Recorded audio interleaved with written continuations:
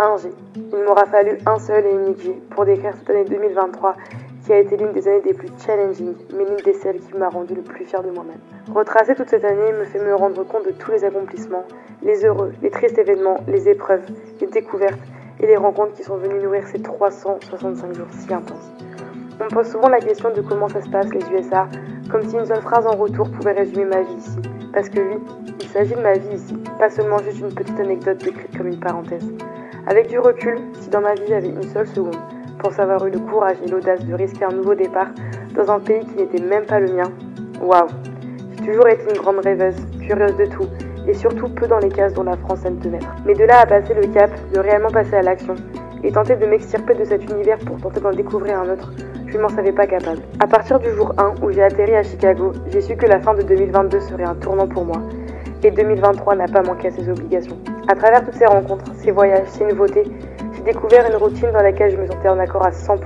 Et croyez-moi, c'est un sentiment que je souhaite à tout le monde. Être enfin confortable constamment avec qui tu es t'ouvre tellement de portes fermées en toi. Je me suis enfin rendu compte de mes forces, de mes qualités, mais aussi de mes faiblesses et de mes vices. Et grâce à ça, j'ai enfin pu réellement grandir à travers cette petite routine et enfin trouver ma recette secrète du bonheur et de mon futur. Des risques, des challenges, des craintes forcément sont venus s'ajouter à ces changements parce que oui, le changement vient toujours avec de l'inconfort. Mais quand tu apprends à manager cet inconfort et qu'il est nécessaire pour enfin accéder à ce que tu penses être ton plein potentiel, tu fonces. Même en ayant conscience que tout ne sera pas facile. Oui, 2023 n'a pas toujours été facile. J'ai perdu l'un des êtres qui m'était le plus cher et avec qui j'aimerais tellement partager chaque jour de ma vie ici et de lui montrer la personne que je deviens. Oui, tout ce qui fait partie de mes 24 premières années de ma vie est à des milliers de kilomètres de moi constamment. Et tu dois apprendre à gérer la frustration qui va avec. Mais tu dois aussi apprendre à gérer leur frustration et leur agacement de te savoir à des milliers de kilomètres. Parce que c'est vrai, eux, ils avaient rien demandé. Ils n'ont pas demandé à être privés de ta personne pendant des mois entiers et devoir se contenter de FaceTime constamment saccadé. Alors tu dois gérer ta joie de vivre pour toi, mais aussi parfois ce sentiment partagé d'avoir été un peu égoïste dans ce changement de vie. J'aimerais tellement pouvoir vous montrer derrière toutes ces images, toutes les émotions mélangées que 2023 m'a apporté, mais jamais aucun mot ne pourra la décrire comme elle est ancrée au plus profond. 2023, tu as été le tournant de ma vie et je t'en remercie. Tu n'as certes rien rendu facile, mais ça me rend encore plus fière de pouvoir en garder que les meilleurs souvenirs. 2023, putain, t'as tellement été fun. Excusez-moi de mes mots, mais c'est tellement vrai. 2023, je n'ai pas arrêté de rigoler. Cette année m'a offert des opportunités immenses, mais je me dis comment 2024 va pouvoir être un tant soit peu à la même hauteur. J'ai rencontré des amis pour la vie, j'ai voyagé dans presque 20 États des États-Unis. Je suis rentrée en France et j'ai profité de ces moments français comme si je les avais oubliés en étant ici. J'ai fêté mes 25 ans dans des lieux magiques et avec des personnes qui l'ont rendu si spécial. Je suis tombée amoureuse et aussi eu un peu le cœur brisé, mais ça en valait tellement la peine. Qu'est-ce qu'on a fait aussi? On a surtout eu enfin le courage de miser sur ses passions. Oui, 2023 m'a aussi fait grandir à travers YouTube et à travers les plus de 25 vidéos qu'on a postées ensemble cette année. Et surtout, j'ai enfin décidé de miser sur moi-même et mon futur professionnel. Dire ça, ça me terrifie, mais ah là là, je sais que je pars tellement dans la bonne direction. 2023, on a déménagé aussi. J'ai quitté ma ville, certes. Chicago me manque chaque seconde de chaque minute, mais j'ai aussi pu avoir le droit à un nouveau départ et quand même dans un endroit extraordinaire qui est New York. Sérieusement, on a vécu cette année à Chicago et à New York. Ça me paraît tellement pas réel quand je le dis. 2023, ça a été l'année de mes journées piscine sur les rooftops de Chicago, de mes cours de danse du dimanche, de mes glaces à schoolers, de mes soirées fléchettes à Cody's, de mes ice latte à The Bakehouse ou encore à Starbucks, de mes concerts privés avec Lucie, de mes soirées TV avec Claire et des soirées football avec les Seagulls, de mes meilleurs fous rires avec Doug, de mes après-midi à New York, de mes promenades dans Central Park, de mon début de la course à pied, de mes confessions avec Océane, de nos introspections avec Maria, de mes trouvailles dans chaque vintage shore, de Mardi Gras à la Nouvelle-Orléans, de la Californie sous la pluie, de New York en famille, de Nashville entre copines, de Washington DC sous le soleil, du plus beau road trip de ma vie sur la côte ouest avec ma sœur qui est devenue ma meilleure amie, de ma surprise française durant l'été, mais aussi du Wisconsin, de l'Iowa ou encore du Connecticut. Bref, tellement souvenirs se mélangent que la liste pourrait être beaucoup trop longue. Mais merci, merci 2023 de m'avoir fait faire reconnecter avec moi-même et je peux vous dire que pour 2024, il n'y aura pas de retour en arrière. Oh là les gars, comment ça va bien? Premier jour de 2024, nous sommes le 1er janvier aujourd'hui et waouh Ça n'est pas un jour différent des autres. Je voulais vraiment commencer la vidéo par un recap de 2023 parce qu'on va pas se mentir, ça a été une année quand même riche en up and downs. Et je sais que tous les ans, il y a cette polémique de, des, récaps de fin d'année des gens. Mais je comprends pas. Pourquoi vous n'êtes pas content pour les gens de montrer ce qu'ils sont contents? Enfin, à un moment donné, les gars, je pense qu'on est tous d'accord pour savoir qu'on sait que les réseaux, c'est pas la vraie vie. Je pense que ça nous pousse aussi à se rendre compte que finalement, quand on retrace l'année en général, même si je suis bien d'accord que des personnes auront eu des années plus difficiles que d'autres, mais quand même, il y a toujours des moments positifs dans notre année et je trouve que c'est un moment où bah, on est forcé à justement s'en rappeler et à prendre un peu de perspective, à prendre un peu de recul sur le fait que, ben oui, on a quand même passé une bonne année en général. Et en plus, à chaque fois, faire ces petites rétrospectives de fin d'année, ça me lance encore plus dans la nouvelle année qui arrive. Et on va euh, souhaiter la bienvenue à 2024 ensemble, et on va faire notre petit traditionnel vision board ensemble. J'ai re-regardé ma vidéo de l'année dernière de, du reset que je voulais faire en début d'année. J'adore regarder les resets de début d'année des gens. Et encore une fois, il y a tout ce débat de il n'y a pas besoin d'attendre la début d'année pour commencer à se mettre dans des nouveaux objectifs. Alors oui, je suis d'accord. Euh, il y a des objectifs que tu peux prendre tout au long de l'année. Mais c'est vrai qu'il y a ce, cette chose dans le début d'année qui te donne l'envie de te surpasser. Et moi, j'aime bien aussi surfer sur cette vague de ces débuts d'année nouvelle année, nouvelles habitudes, nouvelle vie, tout ce que vous voulez. J'ai déjà repris beaucoup beaucoup de choses ces derniers temps notamment depuis que je suis arrivée ici à New York City. Et maintenant, ce début d'année, c'est l'occasion de renforcer, d'ajouter des choses, de venir étoffer le tout et surtout de projeter vraiment tout ce qu'on veut faire sur une année que ça soit des résolutions, des objectifs, des rêves, des envies, des passions. Je trouve aussi que suivre les personnes qu'on apprécie et qu'on se retrouve un peu dans les valeurs, etc. et qui ont un peu les objectifs similaires aux nôtres, ça nous donne aussi encore plus d'inspiration. J'avoue que moi, les youtubeurs que je regarde et qui m'inspirent et qui sont un peu dans le même aspect de vie que moi, ça va toujours me redonner un petit coup de boost, un petit coup de motivation, un petit peu d'inspiration. J'aime bien aussi partager ça parce que j'ai 50 objectifs à chaque fois dans mes années et j'en respecte pas la moitié, mais c'est aussi les intentions qui comptent. Donc, on va se refaire un petit vision board. Si vous vous rappelez pas de celui que j'avais fait l'année dernière, je vous mets la photo maintenant. Ça, c'était le vision board qu'on avait fait l'année dernière. Alors, on a quand même des choses qu'on a respectées. Par contre, il y a des choses qu'on a totalement mis de côté, euh, comme par exemple la souplesse. Ça, ça restera le gros point noir de cette année. Mais il y a d'autres choses dans lesquelles je suis quand même un peu fière, justement par rapport à la création de contenu que j'ai fait autour de YouTube, par rapport au voyage, par rapport au mon anglais, par rapport au sport que j'ai repris, etc., etc. Là, on va aller se poser un petit peu. On va d'abord mettre par écrit un peu toutes nos idées, tout ce qu'on a envie de faire en termes de projection, tout ce que vous voulez. Surtout que pour ma part, 2024 sera quand même une année spéciale puisqu'elle sera en partie ici aux États-Unis, elle sera en partie en France. Il y aura aussi ces périodes de transition de euh, préparer mon retour en même temps, d'irradier aux États-Unis et en même temps vouloir faire des dernières choses ici, préparer ma reconversion professionnelle en France. Bref, il y a 50 000 trucs dans ma tête qui se passent. J'ai besoin de les mettre par écrit avant de commencer mon vision board. On va prendre un bloc-notes et on y va.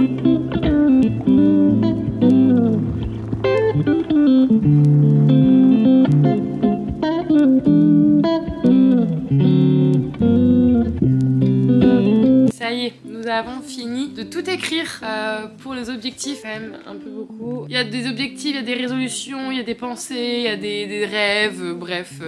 Du coup, je vais vous lire un petit peu ce qu'on a mis vite fait. Euh, on a mis qu'on allait continuer YouTube toutes les semaines. Euh, même si on n'est pas des millions ici, j'ai envie de maintenir cette régularité avec vous. Réussir mes examens de coach sportif qui seront en juin du coup. Euh, croise les doigts, mais je fais tout pour, donc il n'y a pas de raison que ça ne se passe pas. Parvenir à lancer mon business de coaching, ça c'est quand même l'objectif ultime. Maintenir mon train de vie sportif, trouver mon équilibre entre musculation et running puisque ça fait bientôt maintenant deux mois que j'ai commencé le running et j'adore ça et j'ai vraiment envie de l'intégrer dans mon quotidien à long terme. Avoir toujours une intention de réussite malgré les, craintes et les risques. Parfois, mes craintes euh, peuvent un peu me ralentir dans ce que je veux faire, donc essayer toujours d'avoir vraiment cette intention de réussir, que ça soit pour des petites choses de la vie quotidienne ou pour des objectifs un peu plus grands. Reprendre la danse, mais ça, ça devra attendre la France. Voyager encore plus avant de rentrer en France, of course. Continuer de profiter de ma famille, créer des moments qui rassemblent. Maintenir ma skincare, être plus vigilante dans mes dépenses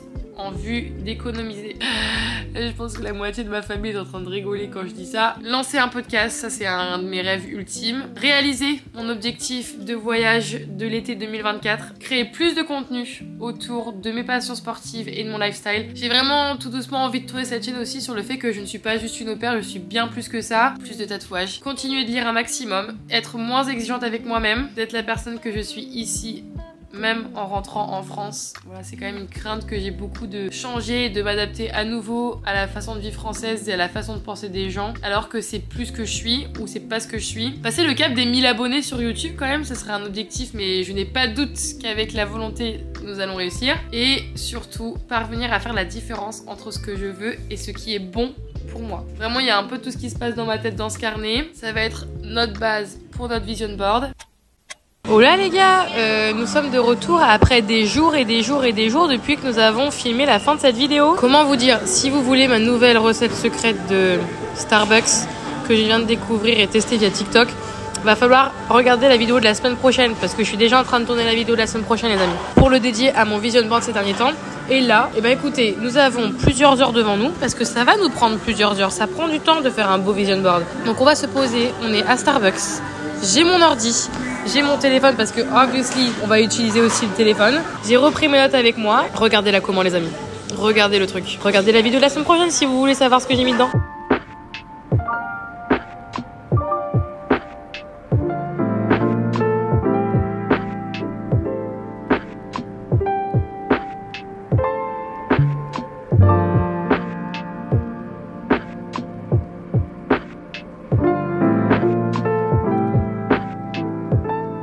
S'il y a bien un truc que je ne ferai jamais, même en session de travail, c'est sauter un repas. Alors oui, d'habitude je mange à midi. Bon là j'avoue, je me suis laissé un peu porter par le truc. Il est 13h30. On a des pâtes, on a des carottes à croquer, on a du poulet. Mmh, rien de meilleur que des carottes à croquer. Par contre, je pense vraiment que ça va être le vision board le plus gros et chargé que j'ai jamais fait de ma vie.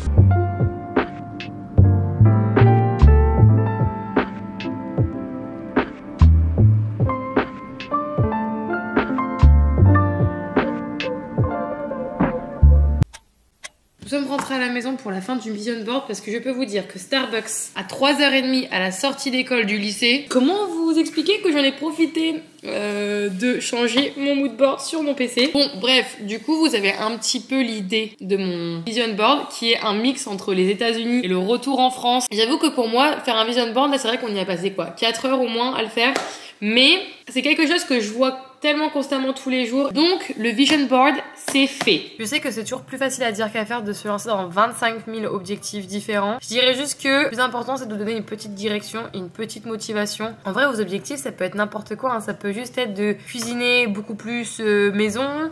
Ça peut être euh, de monter l'Everest. Ça peut être euh, un objectif physique. Ça peut être une reconversion professionnelle. Ça peut être acheter un chien. Ça peut être économiser pour tel tel tel objectif. Si vous avez déjà une routine incroyable et que vous êtes parfait, ça peut être juste un petit truc pour vous sortir en dehors de votre zone de confort. En vrai, il n'y a pas de petits et gros objectifs, c'est juste qui vous ferait plaisir dans votre année en arrivant bah du coup cette année fin 2024 et vous dire bah qu'est-ce que j'ai fait, qu'est-ce que j'ai pas fait? Juste lancez-vous, faites-vous des petits to do. Des fois, ça peut paraître tellement superficiel et trendy là tout parce que tout le monde fait son vision board etc. Mais c'est des choses, c'est des choses qui existent et je pense que ce n'est pas pour rien. Et comme on en parlait sur le fait de montrer tout ce qui s'est passé de bien en 2023 et de nous faire ces petits récaps à chaque fois, ben, pour moi, les vision boards, le journaling, les to do, etc., c'est pareil.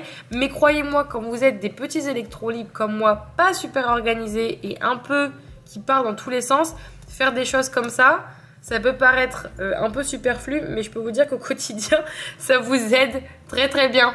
Surtout quand vous avez 15 vies différentes. Parce qu'à la fois, je fais mon sport, je suis étudiante, je suis youtubeuse, je suis, je suis au pair, je suis dog walker. Donc, euh, je peux vous dire que si vous n'avez pas un minimum d'organisation dans votre journée, c'est mort. Aussi, ce que je faisais avant dans mon ancien travail en tant qu'assistante sociale et que je continue ici, mais maintenant forcément avec Google Calendar et plus avec un bloc-notes, je mettais toutes les semaines mes to-do list. Mais je le faisais pas sur une feuille de papier euh, volante. Je le faisais vraiment sur un bloc-notes que je gardais au fur et à mesure. Et c'est là où en fait finalement les pages s'accumulent et vous vous rendez compte de tout le travail qui a été fait et de toutes les to-do list etc que vous avez accompli et je trouve que ça vous amène dans une spirale un peu de productivité etc et d'autosatisfaction hyper agréable et je pense que quand même je suis bien plus organisée et productive qu'avant justement grâce à ces petits trucs de je fais des to do, je fais des vision boards, je visualise mes choses, j'ai une routine, je suis en mode pilote automatique et après on y va. Forcément, il y aura toujours des écarts. Clairement, comme une construction de maison, on vous dit toujours quand vous êtes en travaux que ça va prendre 6 mois, finalement ça vous prend un an et demi. Bah, j'ai envie de vous dire, des fois avec vos objectifs, c'est pareil, vous vous fixez toujours des deadlines un peu trop